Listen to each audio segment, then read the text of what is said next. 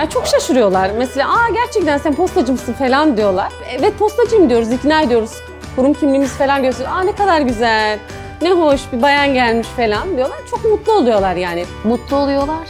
Çünkü kadının toplumda çalışma hayatında olması onları mutlu ediyor. Daha çok da bayanlardan güzel tepki alıyoruz. Ben 11 yıldır postacıyım zaten. Mesela ilk e, 2009'da başladığımda bir teyze vardı. E, galiba e, bir problem varmış sağlıksal olarak.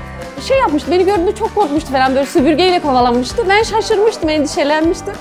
Yani birçok anıyla karşılaşıyorsunuz. E, zile bastığım zaman e, özellikle bayanlar e, şaka yaptıklarını sanıyorlar. Çünkü bir bayandan postacı olacağını beklemiyorlar. Yıllarca postacılar hep erkek olarak karşıladıkları için e, kapıyı açmıyorlar genel olarak. Daha sonra kendimi inandırabilmek için abla işte postacıyım kapıyı açar mısın falan diye öyle bir tatlı bir sohbetimiz falan oluyor yani.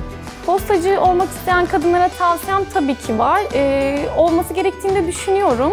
Çünkü zor bir iş ama kadınlar dediğim gibi e, her yerde olması gerektiğini düşünüyorum.